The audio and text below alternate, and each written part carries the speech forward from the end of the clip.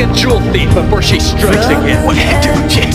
Not a jewel thief. Yes, I am. Ah, I mean, jeez, man, you don't just shoot a miniature corn dog out of a girl's head. You do. She's a nasty jewel thief, which she is. No, but she's not. Yes, I am. No, you're not. I'm sorry. Oh, say what?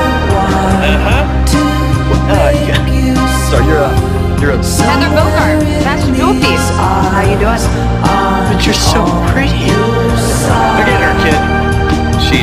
through it.